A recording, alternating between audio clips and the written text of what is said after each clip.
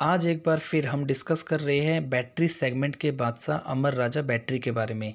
आज मैं आपको तीन नेगेटिव तीन पॉजिटिव पॉइंट बताऊँगा अमर राजा बैटरी के बारे में। मैनेजमेंट की सैलरी यहाँ पे काफ़ी नेगेटिव मुझे लगती है, वो भी मैं आपसे डिस्कस करूँगा। साथ ही में एक बोनस पॉइंट मैं आपको बताऊँगा कि कैसे हम अपना कैपिटल स्टॉक मार्केट में इंक्रीज कर सकते हैं। जी हाँ अगर मान लीजिए मेरी कैपिटल यहाँ पे पचास लाख की है तो चाहूँ तो मैं बीस पच्चीस लाख से अपना यहाँ जो कैपिटल है, वो इंक्रीज कर सकता हूँ। बिना कहीं से पैसा जुगाड़ किए बिना। तो वो पॉइंट मैं आपसे पूरे वीडियो के बीच में कभी भी डिस्कस कर सकता हूँ। तो वीडियो को बिना स्किप करें आप देखिए। वीडियो आपने अभी तक लाइक नहीं किया तो वीडियो को लाइक कर दीजिए। चैनल पर पहली बार विज़िट करें तो चैनल को सब्सक्राइब कर दीजिए। नमस्कार दोस्तों, मेरा नाम है कांति और आप देख रहे हैं आपका अपना चैनल रिटेल इन्वेस्टर का channel coming to the point एक मिड कैप साइज़ की कंपनी है, अमर राजा बैटरी, जो अपने वन ईयर हाई से लगभग थर्टी परसेंट डिस्काउंट पे ट्रेड हो रही है। इसके फ़र्स्ट में पॉजिटिव पॉइंट की बात करूँ तो जो इसका एवरेज पी है, पिछले पाँच साल का वो है लगभग ट्वेंटी सिक्स का और अभी एवरेज पी से लगभग ये फोर्टी परसेंट डिस्काउंट पे अभी हमें मिल रही है। तो ये इसका पहला एक पॉजिटिव पॉइंट है। वहीं पे इसका एक नेगेटिव पॉइंट भी छुपा हुआ है। पाँच साल में इसने कोई भी वेल्थ बना के नहीं दिया है अपने इन्वेस्टर्स को, और इसने यहाँ हालाँकि वेल्थ डिस्ट्रॉय ही किया है पिछले पाँच सालों में। और अगर आप इसका लॉन्ग टर्म चार्ट देखोगे तो पिछले छः सात सालों में कोई भी वेल्थ बना के नहीं दिया है।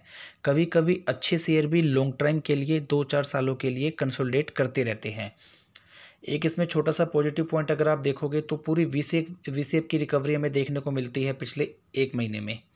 तो ये हालाँकि उतना ज़्यादा पॉजिटिव पॉइंट नहीं है क्योंकि गिरावट काफ़ी ज़्यादा हो चुकी है शेयर में। एक और सेकंड में पॉजिटिव पॉइंट आपसे डिस्कस करूँ तो मार्च ट्वेंटी में इनका सेल था लगभग अड़सठ सौ करोड़ का, जो कि इंक्रीज होकर मार्च ट्वेंटी वन में फोर फाइव परसेंट इंक्रीज हुआ है सेवेंटी वन हंड्रेड करोड़ हो गया है। और वहीं पे इसके नेट प्रॉफिट को देखते हैं तो छः सौ इकसठ करोड़ से नेग्लिजिबल डिक्रीज हुआ है, केवल दो परसेंट से छः सौ सैंतालीस करोड़। कहने का मतलब है कोविड का कोई भी इम्पैक्ट इन पे नहीं हुआ है पिछले एक सालों में। क्योंकि अगर हम अप्रैल ट्वेंटी से मार्च ट्वेंटी वन तक देखते हैं तो कोविड बिल्कुल अपने यहाँ पे चरम सीमा पे था तो कोई भी इम्पैक्ट नहीं देखने को मिला है। हालाँकि सेल्स इंक्रीज हुई है तीन चार परसेंट से प्रॉफिट डिक्रीज हुआ है नेग्लिजिबल टू परसेंट से। अब एक और अगर पॉजिटिव पॉइंट मैं आपको बताऊँ तो कंपाउंडेड प्रॉफिट ग्रोथ जो पिछले पाँच सालों में सिक्स परसेंट है, तीन सालों में ग्यारह परसेंट है, लेकिन शेयर ने कोई भी रिटर्न बना के नहीं दिया है पिछले पाँच सालों में। प्रो सेल्स ग्रोथ भी देखते हैं नाइन परसेंट है, तीन साल का छः परसेंट है। तो यहाँ पे इसलिए भी मुझे शेयर अच्छा लगता है। बैलेंस शीट का साइज़ भी लगभग छः हज़ार करोड़ के आसपास है, लगभग पैंसठ परसेंट सत्तर परसेंट कंपनी के पास रिजर्व्स है, जो काफ़ी पॉजिटिव है, हम जैसे इन्वेस्टर्स के लिए कंपनी में बने रहने के लिए। अब नेगेटिव पॉइंट की बात कर लेते हैं। दो नेगेटिव बैक टू बैक मैं आपको बताता हूँ। सबसे पहले कंपनी में मैनेजमेंट की सैलरी मुझे काफ़ी नेगेटिव लगती है। कंपनी एक्ट के अकॉर्डिंग जो सीलिंग है वो लगभग एट्टी करोड़ के आसपास है, जो कि management more than company act ceiling withdraw कर रहे हैं। सैलरी लगभग नाइन्टी करोड़ से। जी हाँ अस्सी करोड़ के बदले लगभग लगभग नाइन्टी करोड़ सैलरी विड्रॉ कर रहे हैं यहाँ पे मैनेजमेंट की अगर हम बात करते हैं तो। इसके लिए इन्होंने स्पेशल रेजोल्यूशन पास कराया है शेयर होल्डर्स से।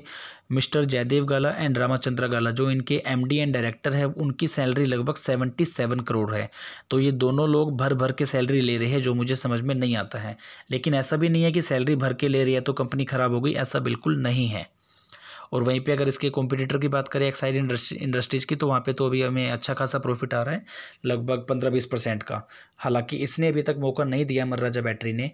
अभी इसका शेयर हमारा डाउन ही चल रहा है, हमारे एवरेज प्राइस से। तो बोनस टिप मैं आपको बता देता हूँ कभी कभी यहाँ पे बड़े शेयर भी अच्छे खासे कंसोलिडेट करते हैं, जैसे आईटीसी सात आठ सालों से लगभग वही 200 के आसपास रेंज पे घूमता है। तो हमें क्या करने चाहिए? सपोज़ मैं अपनी बात करूँ, अगर मेरी सौ रुपये की कैपिटल है तो मेरा दस रुपये लगा हुआ है ट्रिपल ए में। ट्रिपल ए मीन्स ए से अमर राजा बैटरी ए से आपका आपका हो गया औरबिंदो फार्मा और ए से एक और शेयर है मेरे को ध्यान नहीं आ रहा। तो इन तीन शेयरों में हमारा अच्छा खासा वेल्थ फंसा हुआ है, एस्ट्राजेनिका। तीनों ही शेयर्स में हमारा वेल्थ फंसा हुआ है, अमर राजा बैटरी, एस्ट्राजेनिका और औरबिंदो फारा, फार्मा। तीनों ही डिफरेंट इंडस्ट्री से है तो मैंने उसमें क्या किया है? दस रुपये के बदले मैंने लोन अगेंस्ट सिक्योरिटीज़ लिया है। जी हाँ लोन अगेंस्ट सिक्योरिटीज़ जो कि हमें ओडी के फॉर्म में मिल जाता है और अपने टोटल इन्वेस्टमेंट का जो उसकी वैल्यू है उसका लगभग पचास परसेंट। सपोज़ मैंने सौ रुपये में से दस रुपये, तीन सौ रुपये लगा रखे तो तीनों के बदले मैंने ओडी उठा रखी है क्योंकि शेयर सभी डाउन पे ही है तो शेयर को तो हम सेल नहीं कर सकते, चाहे उसमें चार महीने छः महीने, आठ महीने लग जाए। और सपोज़ जैसे ये छः महीने बाद पॉजिटिव आता है तो हमारी वहाँ पर वेल्थ बढ़ती रहेगी। ऐसा नहीं कि हमने ओडी उठा लिया तो वेल्थ नहीं बढ़ेगी इंक्रीज नहीं होगा शेयर प्राइस वो शेयर प्राइस इंक्रीज होता रहेगा, वो हमारे ओडी में ऐड होता रहेगा। लोन अगेंस्ट सिक्योरिटीज आप अपने बैंकर से कन्फर्म कर सकते हैं प्राइवेट बैंक इसको देते हैं और लोन का रेट ऑफ़ इंटरेस्ट भी काफ़ी कम है। ओडी आपको इसमें नौ से दस परसेंट पर मिल जाती है। तो नौ से दस परसेंट पर अगर पैसा उठता है तो मेरे हिसाब से अपनी पूरी एनालिसिस करने के बाद, अपने फाइनेंशियल एडवाइज़र से डिस्कस करने के बाद हमें पूरी समझ है मार्केट की। लगभग पाँच दस सालों से हम मार्केट में हैं तो हम चाहे तो लोन अगेंस्ट सिक्योरिटीज़ अपने इन्वेस्टमेंट पर उठा सकते हैं। अगर सौ रुपये की इन्वेस्टमेंट है तो चाहे तो हम पचास रुपये का लेस उसमें उठा सकते हैं। लेकिन फिर मैं बता रहा हूँ लोन या ओडी उठाने से पहले हज़ार बार आपको सोचना चाहिए, क्योंकि ये दो धारी तलवार है। क्योंकि अगर इसको हम गलत पकड़ेंगे तो ये आके हमें ही लग सकता है। अब यहाँ पे अगर प्रमोटर के होल्डिंग की बात करते हैं, दूसरे नेगेटिव पॉइंट पे आ जाते हैं तो पहले लगभग यहाँ पे देख सकते हैं फिफ्टी टू परसेंट की होल्डिंग हुआ करती थी, जो कि यहाँ पे डिक्रीज करी है प्रमोटर ने। और यहीं पे इन्होंने जो इनकी कंपनी है A R B L holding L L P इन्होंने इस स्टेक को ख़रीदा है। तो ये उतना नेगेटिव नहीं है। नेगेटिव मुझे क्या लगा? जो इन्होंने रिसेंट क्वार्टर में दस परसेंट से यहाँ पे होल्डिंग अपनी डिक्रीज करी है। जी हाँ दस परसेंट से। अच्छे खासे क्वांटिटी में शेयर्स इन्होंने बेचे हैं। ये भी एक रीज़न है जिसकी वजह से शेयर में अभी हमें कंसोलिडेशन देखने को मिल रहा है। वीडियो आपने अभी तक लाइक नहीं किया हो तो वीडियो को लाइक कर दीजिए। अगर आपने अभी तक मेरा मेंबरशिप ज्वाइन नहीं किया है डायमंड मेंबरशिप तो सेवेंटी परसेंट डिस्काउंट अभी भी लाइव है। केवल एक सौ निन्यानवे रुपये में आप मंथली ज्वाइन कर सकते हैं, जिसमें मैं आपको लॉन्ग टर्म इन्वेस्टमेंट अपना स्विंग ट्रेडिंग इन्वेस्टमेंट साथ ही में जो भी आपकी क्वेरी होती है, वो मैं आपको व्हाट्सएप पे सोल्व करके देता हूँ। नीचे हमारी टीम का कॉन्टैक्ट नंबर है, आप व्हाट्सएप पे कोई भी क्वेरी है तो पूछ सकते हैं। एक चीज़ का आप हमेशा ध्यान रखिए स्टॉक मार्केट में एंटर करने से पहले स्टॉक मार्केट का समझना ज़रूरी है। अब अगर डीआई की भी बात करते हैं तो एल आई यहाँ पे होल्डिंग लगातार बढ़ा रही है। ये भी एक मुझे पॉजिटिव फैक्टर लगा है। जैसे यहाँ पे कोविड में गिरावट आई थी तो इन्होंने एक परसेंट से यहाँ पे होल्डिंग बनाई थी। और उसके बाद से हर एक क्वार्टर में आप देखोगे ध्यान से तो हर एक क्वार्टर में ये अपना स्टेक जो है वो इंक्रीज कर रही है।